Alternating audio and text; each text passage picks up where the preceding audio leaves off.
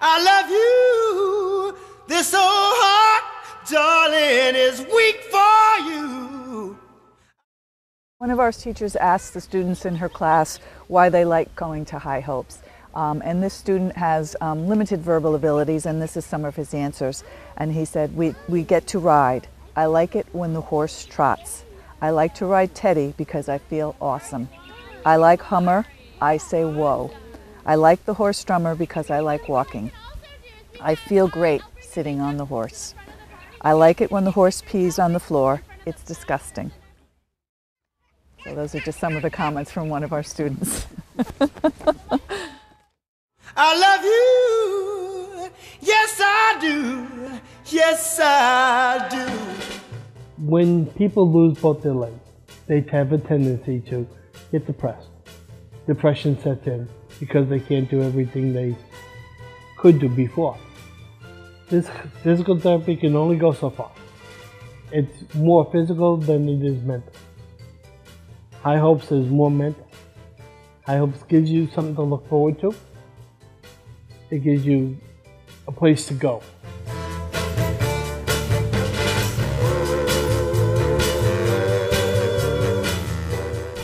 So we actually, when we had left our last school, it was recommended that Chase look into, into hippotherapy or, or therapeutic riding. And lo and behold, it happens to be that this wonderful place called High Hopes is, is literally a mile from our house. I, I really do feel that High Hopes has combined all of his therapies together and it, and it gives him a platform to, to do that in a, I, I think, a comfortable and a very relaxed environment where sometimes um, Chase gets he gets a little overwhelmed by surrounding sounds and people and where things are a little chaotic uh, in, in other places. And this place uh, at High Hopes is just so relaxing um, for him and, and I think it, it's a great place for him to be able to demonstrate all of the skills that he's learned elsewhere too.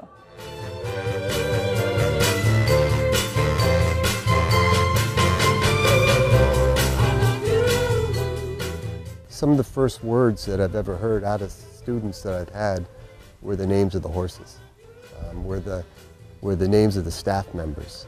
Um, and it's always been kind of a, a carrot for, for us as a school district and for me as a teacher that uh, e even if a kid's having a bad day, we'll, we'll talk about the horse. We'll talk about the experience.